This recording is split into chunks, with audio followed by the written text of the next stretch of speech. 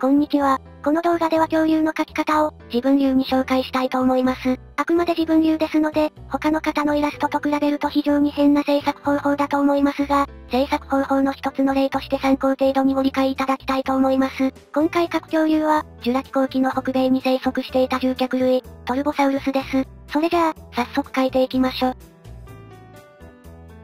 まず絵を描く前に、資料を集めます。資料がなければ、何もできません。私が使う資料用の書籍は、基本的にネットで買えます。まあ、すでに絶版になってるものも多いんですがね。そういう本は、見つけ次第押さえておきましょう。書籍の他に、博物館などで撮影した写真も使います。私は以前、トルボサウルスの復元骨格の写真を撮っていたので、それも参考にします。それとできる限り、各恐竜の論文を見ることをお勧めします。論文によっては無料で PDF ファイルで公開されているものもあるので、有効活用しましょう。当たり前ですが、論文は基本的に英語で書かれています。でも絵を描くためだけなら、本文はスルーしても構いません。さすがに骨の部位の単語は知る必要がありますが、それくらいは検索すればすぐに出てくるでしょう。ちなみに論文の探し方ですが、英語版ウィキペディアに論文の題名が載ってるので、それを検索すると大体出てきます。中にはこのように、直接リンクが貼ってあるものもあります。これで資料は揃いました。それでは、作画作業に入っていきます。今回は線画だけでなく、ディティールを書き込んだものをまずアナログで書き、最後にデジタルで彩色する方法で書きます。最終的にパソコンで修正するので、多少のミスは気にせず進めます。ちなみにできる人はこの工程もデジタルでやっても構いません。アナログの方が全体の比率を把握しながら書きやすいので私はアナログで書いてるだけです。使うものは A4 の剣とし、鉛筆、シャーペンです。芯の濃さは2つとも B です。まず全体のバランスをざっくりと書いていきます。トルボサウルスは頭が大きい恐竜なので、頭と胴体の比率は気をつけましょう。また、基本的に獣脚類は首を S 字に曲げています。トルボサウルスのような大型獣脚類の場合は緩く S 字に曲げましょう。ちなみに今回描くイラストは動画用のものなので、構図はシンプルな横向きです。ではまず頭から描いていきます。恐竜の頭骨はこのように穴がたくさん開いています。穴の役割はこんな感じ。細かいディティールは後で描いていきます。そして下顎も描いていきましょう。注意点としては、獣脚類は基本的に上下の顎のアウトラインがほぼ一致します。これを意識しつつ描くといいでしょう。ちなみに目と歯は仮です。前足も描きます。バランスを確認するだけなので、筋肉のアウトラインや手はまだ描きません。注意点としては、皮が上腕骨よりも長くならないようにしましょう。次に後ろ足。骨盤から描いていきます。外見に影響する部分なのでちゃんと描きましょう。足の骨も描いていきます。大型獣脚類のすねは基本的に、大腿骨と同じか少し短いほどの長さです。なのでそれを意識して描くといいでしょう。ちなみにティラノサウルスなどは、幼体の頃はすねの方が長かったようです。ちなみに獣脚類は足をまっすぐに伸ばすことができません。立っている時も足を伸ばさないようにしましょう。また、前足と同じ理由で足先と筋肉はまだ描きません。最後に尻尾。獣脚類の尻尾は基本的に付け根は太く、中ほどから細くなります。なので付け根から先まで太い尻尾にはしないようにしましょう。まあ、スピノサウルスのような例外もいますが、そんなわけで下書きが完成しました。尻尾が少々はみ出ましたが後で書き足せるのでまあ妥協します。では頭を書き込んでいきます。上顎は前上顎骨と上顎骨に分かれています。前上顎骨に入る歯は短く、上顎骨の歯は前方は長めで後方は短めです。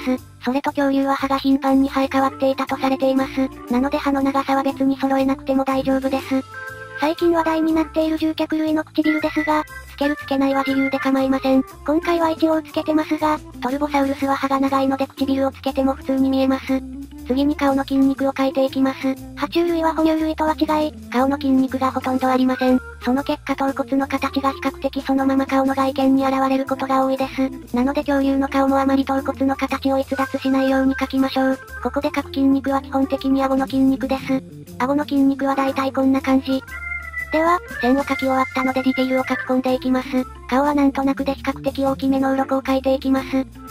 鼻の穴は鼻孔いっぱいに描くのではなく、前方にちょこんと描く程度がいいと思います。まあ、この辺りはご自由に。私は骨の峰に大きめの鱗を描いてますが、これも自由でいいです。続いて目の描き方。恐竜の目はあまり人間の目っぽく描かないようにしましょう。というのも、このように爬虫類や鳥類は外見上、目は交際と瞳孔の部分しか見えません。というか人間以外の動物は大体白目は見えないです。これは白目が見えていると、どこを見ているか分かってしまい不利になるからだと言われています。人間の白目が見えるのは、コミュニケーション能力を上げるためとも言われていますね。なので恐竜の目を描くときは、白目を描かないようにしましょう。また、恐竜の目の周りには胸膜輪という骨がありました。なのでこれを意識して描くといいでしょう。では描いていきます。今回は目の大きさが小さいので、個別に描いていきます。まずこんな感じでざっくり描いて、それにシワ状のディティールがあるまぶたをつけていきます。さらに鱗状のディティールを加えていきます。目の周りを描き終わったので、瞳孔を描いていきます。瞳孔の周りを縁取り、ハイライトも入れます。そしてその周りに交際を描き入れましょう。色々と仕上げて完成。爬虫類らしい目が出来上がりました。ディティールを描いていなかった後頭部も書き込んで、上顎完成です。下顎も描いていきます。と言っても鱗を描くだけなので、上顎と比べるとあまり苦労はしないでしょう。顎の筋肉も忘れずに、ここには蛇腹状のディティールを描いていきます。最後に耳を描きます。恐竜の耳は、後頭部と顎の筋肉の間にあったとされます。そんなわけで、頭部が完成しました。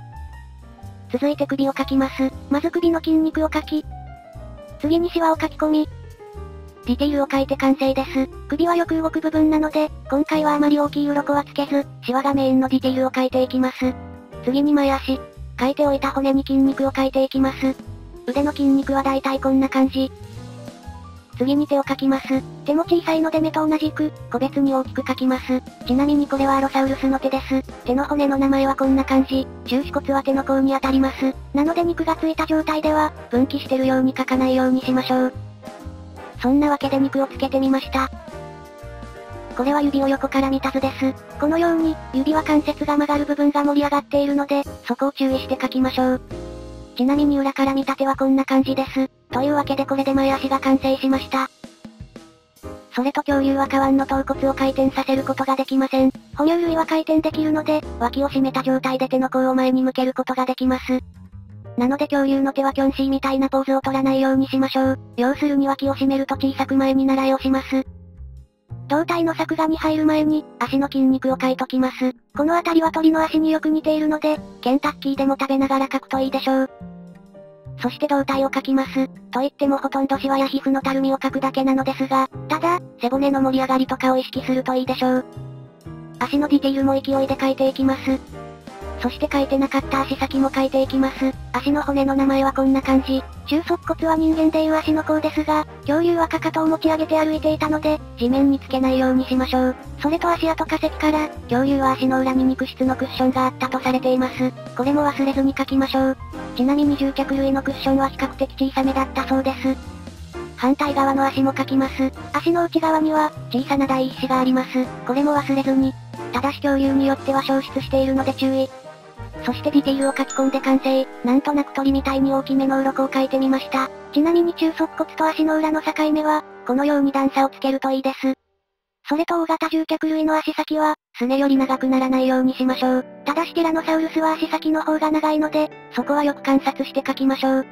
あと恐竜の足指はよく下向きに曲げられていることがあるのですが、これは樹状性の鳥類の足指の曲がり方なので間違いです。なのでイメなどを参考に、ゆるく上向きに曲げるのがいいでしょう。では最後に尻尾を描いていきます。まずこんな感じで形を整え、そこに微大腿骨筋という筋肉のラインを描きます。微大腿骨筋とは、尻尾のウ突起と、大腿骨の第四天使という突起にくっつく筋肉です。大腿骨を後ろに引くのを助ける筋肉とも言われていますね。微大腿骨筋は大体こんな感じでくっつきます。そしてディティールを書き込んで完成です。そんなわけで死体が完成しました。これだけでも一つの作品として発表できます。それでは、色を塗っていきましょう。ここから倍速を多用するので、気分が悪くなったら動画の視聴を中断してください。言い忘れましたが、私が使うソフトは最通です。まず、そのままだと画像ファイルがでかすぎて重いので、適当な大きさにします。そして色調補正をして、明るさやコントラストを整えます。私はいつも明るさは低く、コントラストは高く、色の濃さは非常に低く設定しています。次に消しゴムで汚れなどをクリーンナップしていきましょう。汚れを取るのが第一目的ですが、後で洗濯して切り取るときに楽になるので、そのために余計に大きく消したりしてます。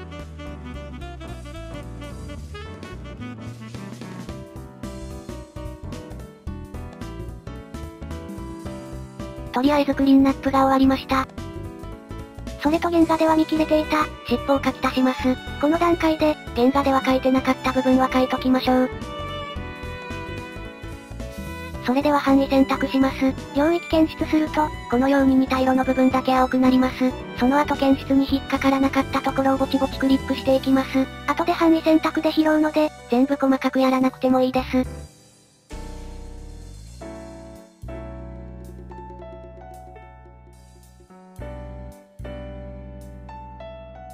検出が終わったので範囲選択を押します。トルボサウルスのところだけ選択されました。切り取りペーストします。取りこぼしたところがわかりやすいように、適当な色を裏に塗ります。そして取りこぼしを選択して切り取り、ペーストします。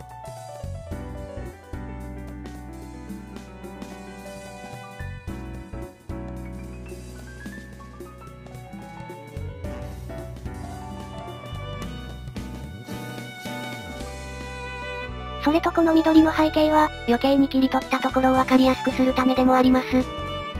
長いのでカット。では色を塗っていきましょう。まずトルボサウルスだけを範囲選択して、新しいレイヤーを作り、レイヤー2乗3を設定して、基本色を塗ります。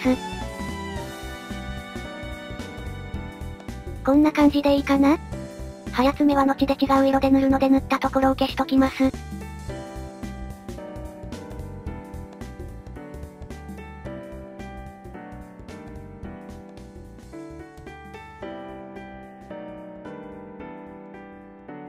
基本色が気に入らなかったので、若干ですが色を変えます。こんな感じでいいでしょう。次に基本色の上に濃い色を塗ります。これも新しいレイヤー2乗3を設定して塗っていきます。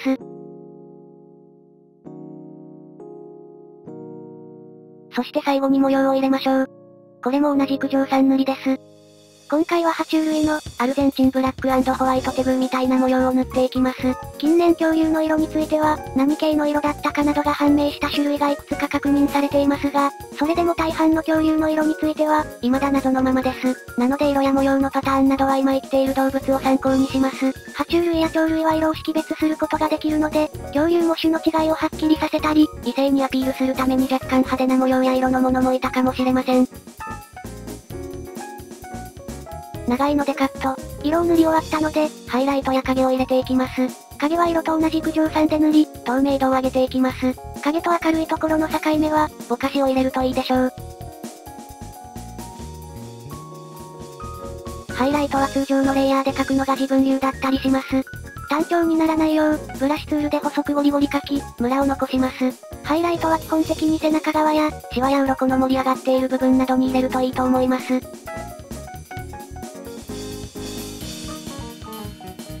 そして爪や歯などの細かい部分を塗っていきましょう。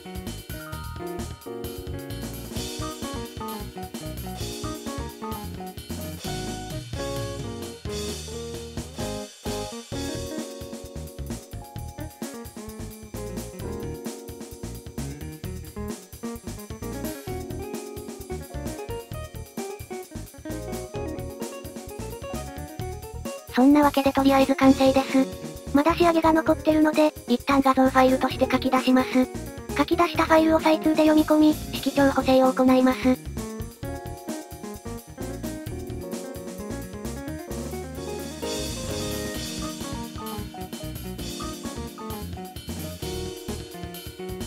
最後に影やハイライト、ディテールを書き忘れたところを修正して仕上げていきます。